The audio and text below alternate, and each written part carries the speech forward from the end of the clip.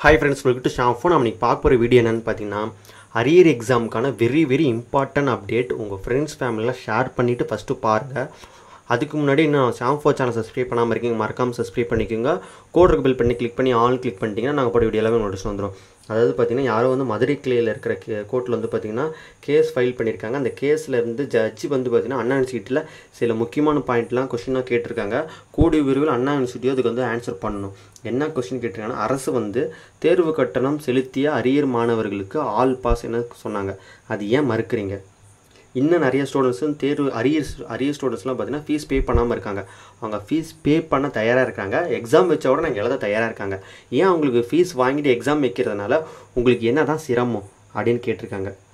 அது மட்டும் இல்லாமல் பார்த்தீங்கன்னா வந்து நிறையா மாணவர்கள் அரியர் மாணவர்கள்லாம் ஃபீஸ் பே பண்ணியிருக்காங்க. அவங்களுக்கு எந்த ஒரு மின்னஞ்சலோ இல்லை எந்த ஒரு நோட்டிஃபிகேஷனோ காலேஜ் சைட்லேருந்தோ தரல. ஏன் என்ன அந்த மாதிரிலாம் இருக்கிறாங்க? அதுக்கு என்ன நீங்கள் என்ன பதில் பண்ண போகிறீங்க அவங்களுக்குலாம் அப்படின்னு கேட்டிருக்காங்க.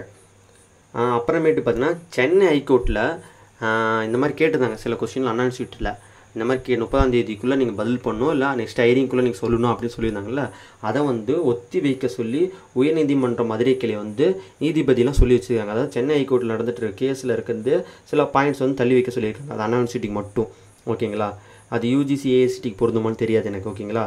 இதில் மிகப்பெரிய ட்விஸ்ட் என்னென்னு பார்த்தீங்கன்னா நல்ல நியூஸு அது என்னென்னு தே கேட்டுக்கோங்க. தேர்வு எழுதாமல் மாணவர்களின் கற்கும் தகுதி எவ்வாறு தீர்மானிக்கிறீர்கள் அப்படின்னு கேட்குறாங்க எப்படி தான் நீங்கள் வந்து இப்படி தான் அப்படின்னு ஒரு முடிவுக்கு வரீங்க? அவன் எழுதாமல் பாஸ் சொல்ல முடியாத ஒரு முட்டாள் அப்படின்னு சொல்கிறது எப்படி?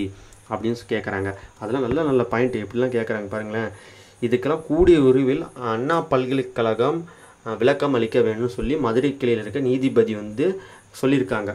இதை வந்து பார்த்திங்கன்னா கூடியவர்கள் பதில் பண்ணிட்டாங்கன்னா கிளியராக தெரிஞ்சிடும். அரியர் எக்ஸாம் பாஸாக பாஸ் இல்லைன்னு இன்னொன்று மிகப்பெரிய அப்டேட்டு அன் பெரியார் யூனிவர்சிட்டியும் மெட்ராஸ் யூனிவர்சிட்டியும் அரியர் மாணவர்களுக்கு மார்க்கு வழங்குவனும் பணிகளை தடங்கி விட்டார்கள்.